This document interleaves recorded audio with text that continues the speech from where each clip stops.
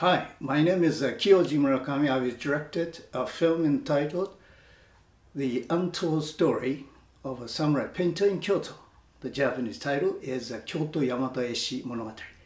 And I really thank you for awarding me the Best uh, Submission Feature Award. Thank you so much. Uh, this film depicts the splendor and the richness of the Japanese uh, paintings during the Edo period through the beginning of Meiji era.